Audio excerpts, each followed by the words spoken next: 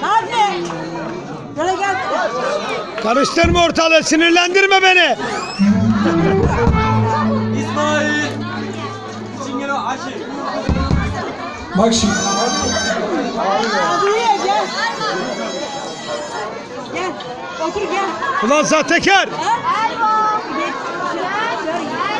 Bu da Müşür Ahmet abimiz. Çayırbaşı'nın gülü. Ve e, Mısır Sisir'in on numara adamdır. Teşekkür Kimi takacağız? Kılıçları Safiye mi? Kütüphe ailesine. Sergen, sen klavyeye gideceksin şimdi ben onlara davul çalacağım. Safiye para yapıştıracak bana. Beş lira. Helal. Ben 50 lira vereceğim lan. Kulüpte sallama çalıyor orada Yanlış Sergen.